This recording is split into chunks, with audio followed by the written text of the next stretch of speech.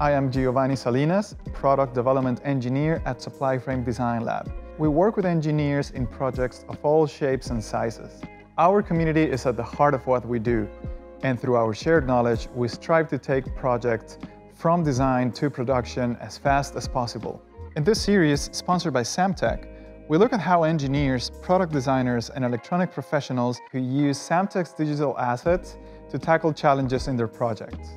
I work on all sorts of different things from lidar compass for measuring buildings in construction to you know mapping devices for 3d data collection. Runs the gamut although the common thread is that it usually involves electronic design. The great thing about the samtec configurator tool is that they provide components that you really just can't get. And Samtec has all the options and it's all configurable in their little online tool where you can get exactly the part that you want and they will provide you with a model. Samtec is really good about having 3D model downloads right on the catalog page for any given part. You walk through the you know configurator to, to make sure all of the parameters are totally accurate, and then it parametrically generates you a 3D model. And yeah, Samtec made it super easy, and they got designed in. So the great thing about the Samtec configurator is that I can get the part that I need right now.